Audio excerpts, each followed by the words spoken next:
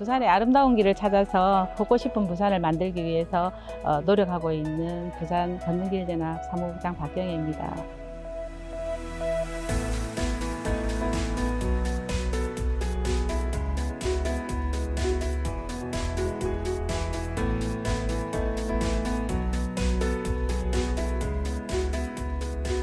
걷기 좋은 부산을 만들기 위해서 노력하고 있는 단체입니다.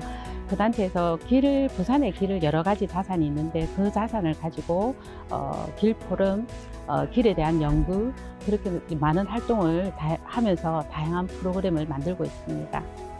어, 거기에 나아가서 어, 아름다운 길을 걷기 위해서 노력하기도 하지만 그뿐만이 아니라 길을 가지고 문화 콘텐츠를 만들어서 어, 경제에 부응할 수 있는 그런 밑거름이 되는 어, 부산 걷는길 연합입니다.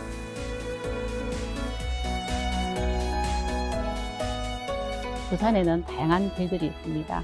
어, 너무 많은 길들이 있어서 어, 사포지향을 먼저 돌 수 있습니다. 강과 산, 바다, 호수 뿐만 아니라 이바구길, 이하기길, 나룻길, 철길까지 있습니다. 어, 그 많은 길이 있지만 어, 외부에서 만약에 찾아온다면 정확한 홍보와 안내 체계가 없는 바람에 사실은 저희들이 큰 숙제를 안고 있죠. 그걸 어떻게 풀어 나가야 할까 그런 고민을 하고 있습니다.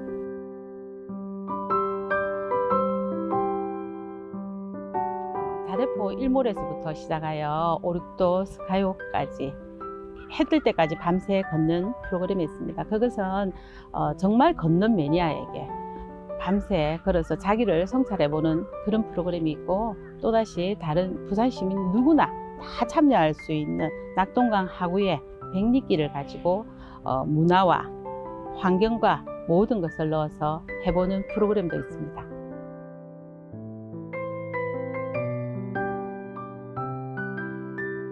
어, 사실 저는 개인적으로 2009년에 어, 위암을 앓았어요. 위암 앓고 나서 수술을 하고 난 이후부터 조금 걸었는데 그러면서 이 길을 언제라도 걸을 수 있는 힘은 있어야 되겠다.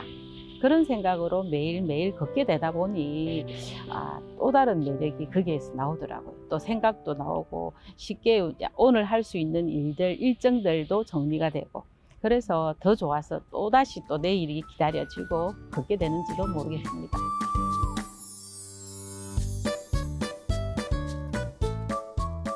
부산을 상징하는 갈매길이 있는데 거기에는 아홉 개 코스 21구간이 있어요. 이 구간을 하루에 환경의 날이라든지 이런 걸 맞춰서 환경단체나 산학이 같이 저희들 사무실과 같이 해서 어, 전 구간을 하루에 다 걷는 거예요. 제가 혼자서 걷는 것이 아니고 구간 구간별로 나누어서 어, 정화 활동도 하고 같이 걸어보면 어떨까 하는 생각이 있는데 그것은 어, 정말로 이 아름다운 곳에 때로는 휴지도 있고 담배꽁초도 있고 그런 이제 걷는 사람들에게 좀 더 쾌적하고 아름다운 곳을 더 보여주기 위한 욕심에서 그런 활동을 한번 해보고 싶습니다.